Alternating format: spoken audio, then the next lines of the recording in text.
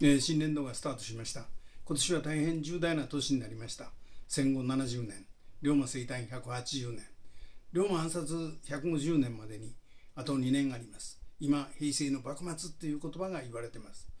龍馬暗殺される2年前すごく世の中が乱れた時代と今が重なるわけです。龍馬発信今年は力を入れます。皆さんよろしくお願いいたします。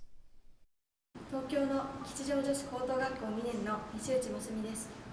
子ども龍馬フォーラムの時に森館長がこれからの日本の未来と平和について真摯にそして力強く語っていらっしゃったのを今でもよく覚えています。